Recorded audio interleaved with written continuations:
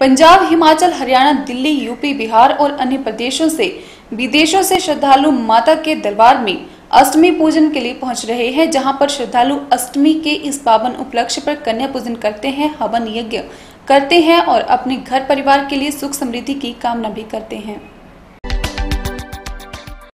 विश्व विख्यात शक्तिपीठ श्री नैना देवी में अष्टमी पूजन की धूम है। विश्व विख्यात शक्तिपीठ श्री नैना देवी में अष्टमी पूजन के लिए भारी संख्या में श्रद्धालु माता के दरबार में पहुँचे। आस्था का सैलाब माँ के दरबार में उमड़ता नज़र आया, जहाँ श्रद्धालुओं की आस्था का अद्भुत नज़ारा देखने को मिला। वहीं पर फूलों और रंग बिरंगे लाइटों से मंदिर की सजावट भी देखते ही बनती है। पंजाब, हिमाचल, हरियाणा, दिल्ली, यूपी, बिहार और अन्य प्रदेशों से, विदेशों से श्रद्धालु माता के दरबार में अष्टमी पूजन के लिए पहुँच रहे हैं, जहाँ पर श्रद्धालु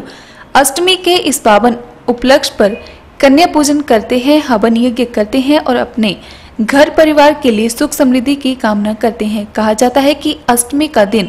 माँ का सर्वप्रिय दिन है। इस दिन माता जी को कढ़ाई का भोग लगता है और जो भी श्रद्धालु अष्टमी के दिन व्रत करते हैं पूजा करते हैं कन्या पूजन करते हैं माँ उनकी सभी मनोकामनाएं पूर्ण करती है श्रवण अष्टमी का विशेष महत्व है श्रद्धालु झंडा चढ़ाने की रस्म और कढ़ाई कन्या पूजन हवन करके अपना जीवन धन्य करते हैं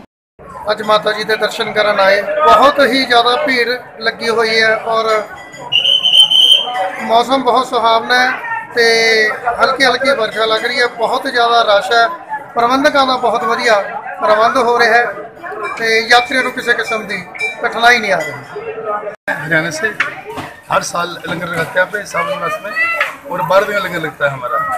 इसमें हर प्रकार की आइटम बनती है और साठ साल ਰਹਿਣ ਵਾਲਾ ਅੱਜ ਅਸੀਂ ਆ ਕੇ ਅੱਠੇ ਪੂਜਨ ਕੀਤੀ ਆ ਕੰਨਿਆ ਪੂਜਨ ਕੀਤੀ ਆ ਸਾਡੇ ਮਨ ਨੂੰ ਬਹੁਤ ਬੜੀ ਸ਼ਾਂਤੀ ਆਈ ਆ ਮਹਾਮਾਈ ਦੇ ਹਰ ਜਾਲੇ ਨੂੰ ਆਉਂਦੇ ਆ ਆ ਕੇ ਮਾਤਾ ਦਾ ਪੂਜਨ ਕਰਦੇ ਆ ਜੋ ਮਾਤਾ